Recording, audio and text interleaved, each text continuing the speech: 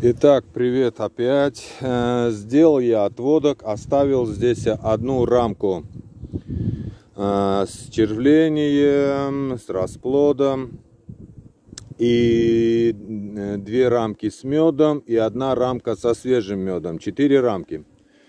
Так как вот эта семья, вот эта матка сеет, насеяла практически все рамки, но пчелы не так уж много – я сделал такую операцию. Матку я перекинул сюда. И здесь э, оста... только две рамки э, с расплодом я на одной матке, а на другой рамка с расплодом. А все остальные, я вот видите, всех пчел встрахивал сюда.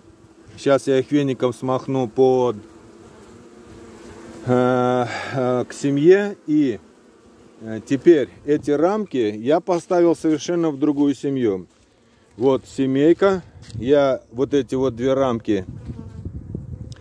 Здесь работает матки, а вот сюда я поставил две рамки. Так что вот такая операция для начинающих пчеловодов. Это кровь из носа.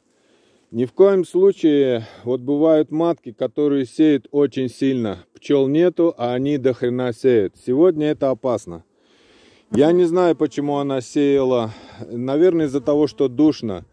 Морозы, холодрыга и все остальное. Но эта матка серьезная. Так что, Николай, я тебя поздравляю. Ты смотришь на ту матку, которую ты пророчил, что будут плохо. Вот она, эта матка. Вон она, эта матка. Вот уже от нее идет.